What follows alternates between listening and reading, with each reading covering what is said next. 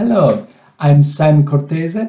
I am a child and adolescent psychiatrist, and I am pleased to give this uh, lecture training on attention deficit hyperactivity disorder, or ADHD for short, which is really meant to uh, provide a basic introduction to some uh, key concepts on ADHD, especially for those who are not really uh, familiar with the condition.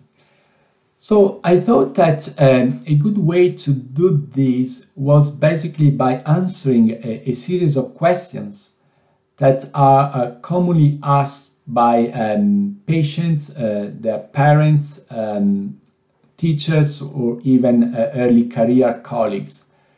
So I hope it will be helpful for you.